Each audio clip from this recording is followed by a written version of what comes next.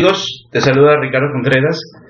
Este, quiero conversarte eh, en este video sobre los tipos de datos con los que muchas veces tenemos a la mano para poder hacer modelos econométricos, análisis de correlación, relaciones entre variables o relaciones entre muchas variables con una variable dependiente. Entonces tenemos tres eh, tres diferentes tipos de datos. El primero es datos de series de tiempo. El segundo son datos de series transversales y datos combinados. Y una, y, una rama de ellos son los famosos datos de panel. Vamos a conversar un poquito de cada uno de ellos para que los entiendas y veas las diferencias. Una serie de tiempo. Aquí una serie de tiempo es un conjunto de observaciones sobre los valores de una variable en diferentes momentos. Es decir, yo aquí tengo dos variables. Variable del gasto del consumo por persona y las variables del PIB. ¿Y cuál sería la serie de tiempo? Desde los años 1960 corrido hasta el año 1990. Eh, estas observaciones pueden ser diarias, como las acciones, por ejemplo, que varían todos los días. Eh, semanales, los precios de los productos de consumo, de consumo en los mercados. Puede ser mensual, como la tasa de desempleo. Puede ser anual, el presupuesto del Estado de un país. E incluso trimestral, el Producto Interno Bruto de un país. Este, aquí tenemos un ejemplo de serie de tiempo. Eh, visto por cada año, ¿no verdad? Tenemos el gasto de consumo de la persona en 1960, 61, 62 hasta el 90. Y tenemos otra serie de tiempo con el datos del PIB eh, del año 60 al 90. ¿sí? Cuando trabajamos serie de tiempo hay que, hay que tener un criterio de estacionalidad o no. No es el objetivo de este video eh, profundizar el tema, sino hablar en términos generales los tipos de datos. En este caso tenemos series de tiempo. Luego tenemos los, eh, los datos de corte transversal. Eh, tenemos, son datos de uno o más variables, en este caso tenemos dos variables, Y1 significa los huevos producidos en el año 1900, 1990 perdón, en millones de unidades, y en X1 representa el precio por docena, centavos de dólar en el año 1990. Es decir, tenemos un dato en un momento del tiempo, 1990, de dos variables, en este caso, huevos producidos y precio por docena. Este es dato de corte transversal en un momento dado del tiempo. Puede ser también censo de la población, gasto del consumidor, encuesta de preferencia de Gallup, Sí, en este ejemplo tenemos, como decíamos, dos muestras de corte transversal. Eh, así como en la serie de tiempo tenemos que ver la estacionalidad, también en los datos transversales tenemos que tener mucho cuidado con la heterogeneidad. No, no vamos a profundizar, pero más o menos se trata del efecto del tamaño de los datos o escala de los datos. Bien. Luego de datos transversales tenemos los datos combinados. ¿Qué significan los datos combinados?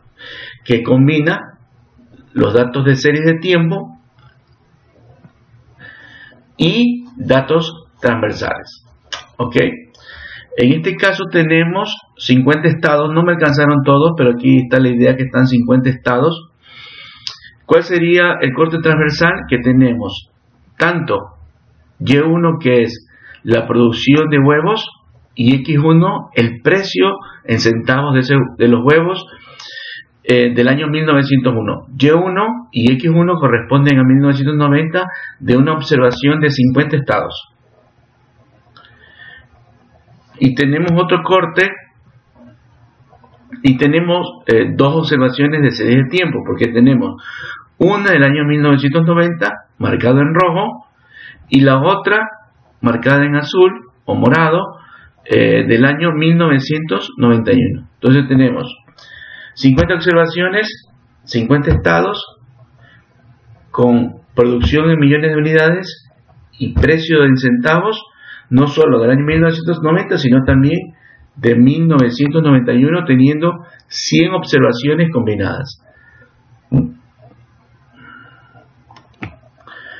Eh, otro ejemplo de datos combinados puede ser este, el índice del precio del consumidor. Tenemos eh, la serie de tiempo. Una serie de tiempo será el IPC de Estados Unidos del año 1980 al 2005. Otra serie de tiempo será el de Canadá. Otra serie de tiempo será el de Japón. ¿sí? Eh, ¿Dónde está el corte transversal? Corte transversal estaría en la observación de 1, 2, 3, 4, 5, 6, 7 índice del precio del consumidor de 7 países en un solo año, 1980. Y tendremos, tenemos varios cortes transversales. ¿sí? En, total, en total tenemos 182 observaciones, 26 observaciones anuales, que es la serie de tiempo, por cada uno de los 7 países. En total, 182 observaciones. Este es un ejemplo de datos combinados. Una versión adicional de datos combinados son los famosos datos de panel. Se estudia la misma unidad transversal, es decir, puede ser una familia, una empresa, para ver su evolución en el tiempo de esa misma unidad. En este caso, por ejemplo, tenemos una unidad General Electric, otra unidad US Steel, General Motor y West pero me interesa verla en serie de tiempo, es decir, desde el año 1935 a 1954. ¿En dónde está el corte transversal? Que por cada año yo tengo la, la data de la inversión total real de la empresa, el valor de la empresa representado por F-1 y el valor del capital accionario real eh, mostrado, eh, eh, nombra, llamado con la variable C-1, es decir, eh, el valor del capital accionario. Por cada año yo tengo tres variables.